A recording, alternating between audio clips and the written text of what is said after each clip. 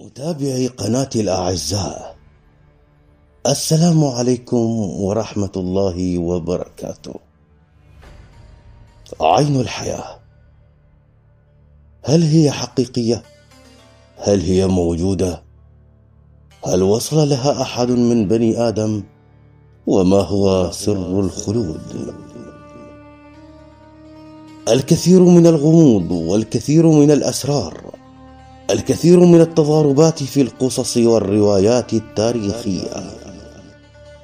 ولكي نعرف بعض الأجوبة عن هذه الحقائق الغامضة دعونا نعرف اولا من هو سيدنا الخضر ومن هو ذو القرنين.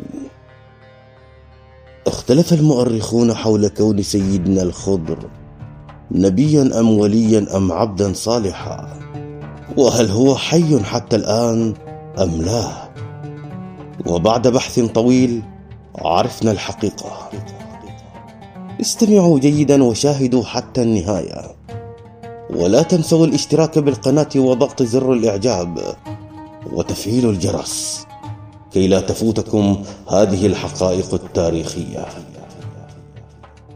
الخضر عليه السلام.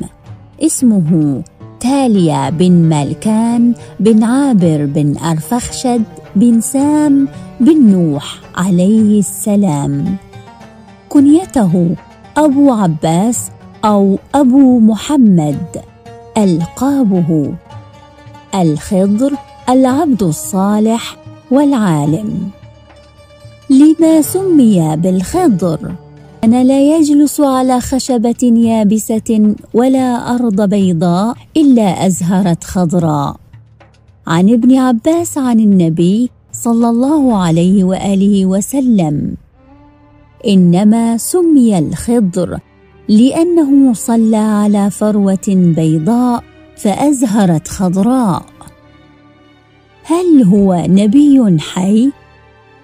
هناك روايات تدل على نبوته منها ما ورد أن أربعة أنبياء أحياء اثنان في السماء عيسى وإدريس واثنان في الأرض الخضر وإلياس. فأما الخضر في البحر وأما إلياس في البر. عن أمير المؤمنين علي بن أبي طالب عليه السلام. لما سئل عن ذو القرنين أنبيا كان أم ملكا قال لا نبيا ولا ملكا بل عبدا صالحا اسمه عياش. أحب الله فأحبه الله ونصح لله فنصح له. اختاره الله وابتعثه إلى قرن من القرون الأولى في ناحية المغرب.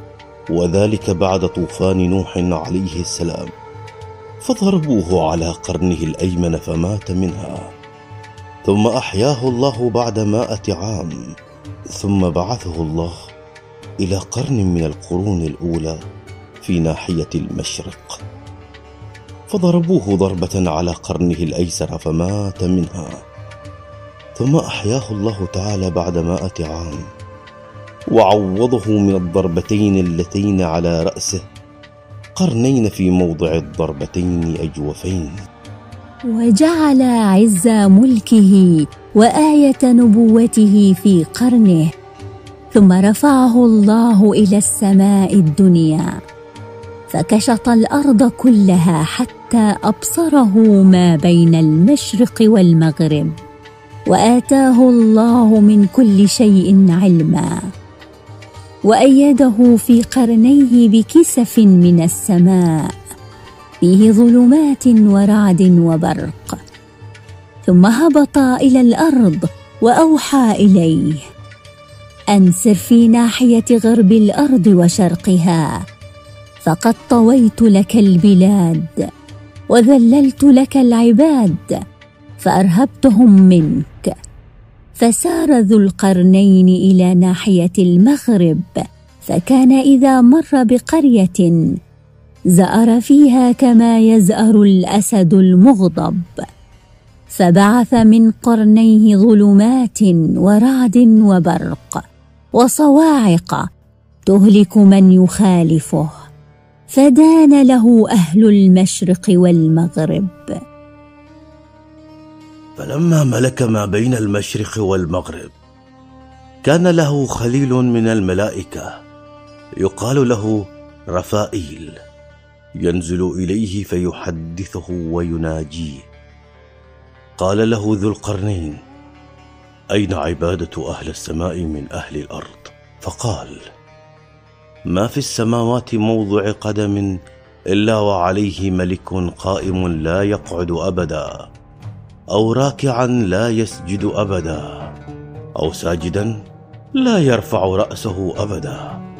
فبكى ذو القرنين وقال أحب أن أعيش حتى أبلغ من عبادة ربي ما هو أهله. قال رفائيل يا ذا القرنين إن لله في الأرض عينا تدعى عين الحياة. من شرب منها لم يمت حتى يكون هو من يسأل الموت. فإن ظفرت بها تعش ما شئت. قال وأين تلك العين وهل تعرفها؟ قال لا غير أننا نتحدث في السماء. إن لله في الأرض ظلمة لم يطأها إنس ولا جان.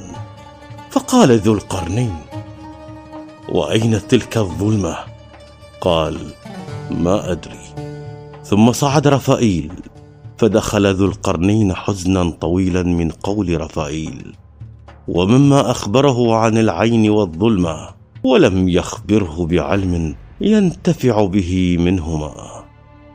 فجمع ذو القرنين فقهاء أهل مملكته وعلمائهم فلما اجتمعوا عنده قال لهم هل وجدتم فيما قرأتم من كتب الله أن لله عينا تدعى عين الحياة؟ من شرب منها لم يمت؟ قالوا لا. قال فهل وجدتم أن لله في الأرض ظلمة لم يطأها إنس ولا جان؟ قالوا لا. فحزن ذو القرنين وبكى إذ لم يخبر عن العين والظلمة بما يحب وكان في من حضره غلام من الغلمان من أولاد الأنبياء فقال له إن علم ما تريد عندي. ففرح ذو القرنين فقال الغلام إني وجدت في كتاب آدم الذي كتب يوم سمي ما في الأرض من عين أو شجر فوجدت فيه أن لله عينا تدعى عين الحياة بظلمة لم يطأها إنس ولا جان. ففرح ذو القرنين وقال له الغلام إنها على قرن الشمس يعني مطلعها. ففرح ذو القرنين وبعث إلى أهل مملكته فجمع أشرافهم وعلماءهم فاجتمع إليه ألف حكيم وعالم فلما اجتمعوا تهيأوا للمسير فسار يريد مطلع الشمس يخوض البحار يقطع الجبال فسار اثنتي عشر سنة حتى انتهى إلى طرف الظلمة. فإذا هي ليست بظلمة ليل ولا دخان فنزل بطرفها وعسكر عليها وجمع أهل الفضل. فقالوا إنك تطلب أمرا ما طلبه أحد قبلك من الأنبياء والمرسلين ولا من الملوك. قال إنه لابد لي من طلبها. قالوا إننا نعلم أنك إن سلكتها ظفرت بحاجتك ولكننا نخاف هلاكك. قال ولا بد لي من أن أسلكها. ثم قال أخبروني بأبصر الدواب. قالوا الخيل الإناث البكارة. فأصاب ستة آلاف فرس في عسكره. فانتخب من أهل العلم ستة آلاف رجل. فدفع إلى كل رجل فرسا. وكان الخضر على مقدمته في ألفي فارس فأمرهم أن يدخلوا الظلمة وسار ذو القرنين في أربعة آلاف وأمر أهل عسكره أن يلزموا معسكره اثنتا عشرة سنة فإن رجع هو إليهم وإلا لحقوا ببلادهم. فقال الخضر أيها الملك إنا نسلك في الظلمة لا يرى بعضنا بعضا. كيف نصنع بالضلال إذا أصابنا؟ فأعطاه ذو القرنين خرزة حمراء كأنها مشعلة لها ضوء.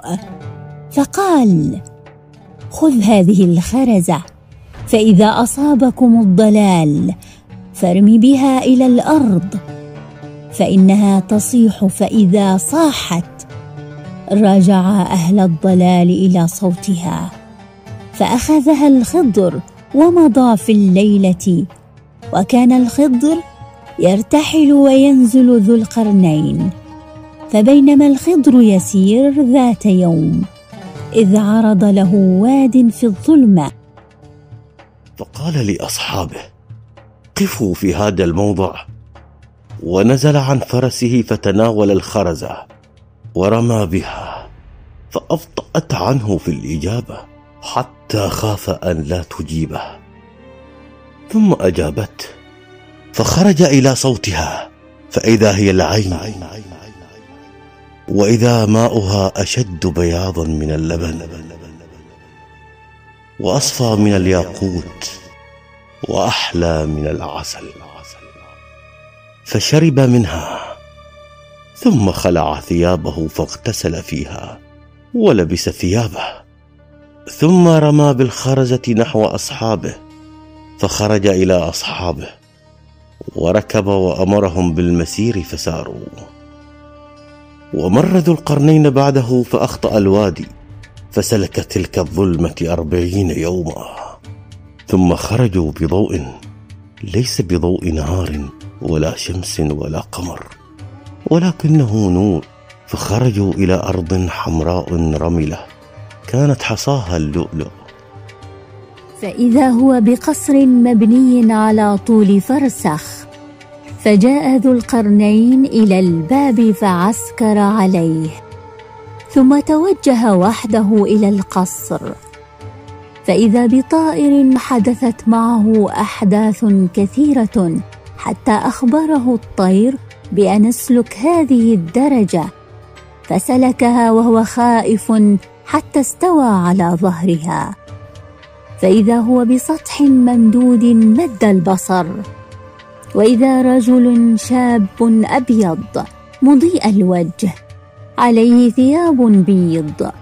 وإذا هو رافع رأسه إلى السماء ينظر إليها واضعا يده على فيه. فلما سمع خشخشة ذي القرنين قال من هذا؟ قال أنا ذو القرنين. قال يا ذا القرنين ما كفاك وما وراك حتى وصلت الي قال ذو القرنين ما لي أراك واضعا يدك على فيك.